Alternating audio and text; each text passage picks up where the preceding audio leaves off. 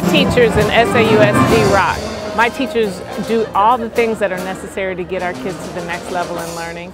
They spend extra time in the classroom, they do extra hours, whatever it takes to get our kids where they need to be on reading proficiency, on numeracy. Uh, their comprehension skills are up, our graduation rates are up, and that's indicative of what's happening in the classroom, i.e., my teachers.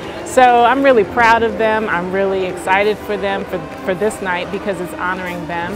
Um, last night we honored classified employees and they are the backbone of our system, but our teachers are our lifeblood. So we just are really excited with the team that we put together. Our teachers are fantastic. Um, and I just appreciate the relationship that they have with the administration, with the classified, all working together for the good of students. So I'm elated to be here tonight. Excellent.